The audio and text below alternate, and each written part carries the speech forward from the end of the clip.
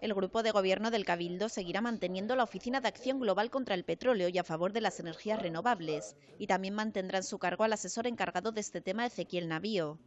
A pesar de que ayer el PP pedía en el Pleno que se terminara con toda estructura para evitar así gastar más dinero público, Coalición y PSOE no opinan de esta manera. Y todo lo hacía en base a que nos íbamos a quedar sin turismo, que no, nos iban a contaminar el agua que consumimos y señalarían las playas de Piche.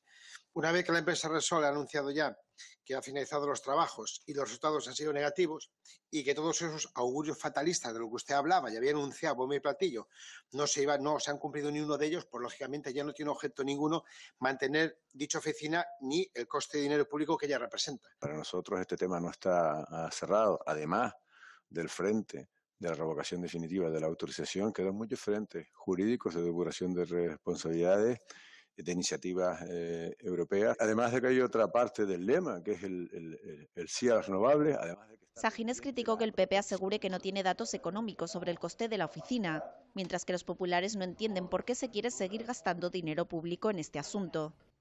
Que le hemos dado los gastos en múltiples ocasiones y siguen ustedes diciendo que el Cabildo se ha gastado por las instituciones millones de euros en la campaña. Millones ha gastado Repsol y el Ministerio. El Cabildo apenas ha gastado ocupando la plaza de un asesor del gobierno, de la, en este caso de la cuota de Coalición Canaria, de la persona responsable de esta oficina, que es quien ha promovido y coordinado gran parte de las acciones que Canarias han emprendido fuera de Canarias y dentro de Canarias y fuera de España y en España Presidente, ¿usted no le parece urgente dejar de gastar dinero público? Señor consejero, este no, no nos parece urgente.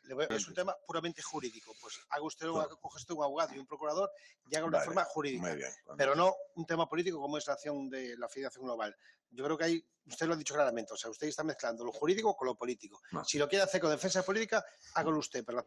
Además, todos los grupos políticos, excepto el PP, votaron a favor de que se pida al Gobierno de España que revoque la autorización para los sondeos a Repsol, que tiene una vigencia de tres años.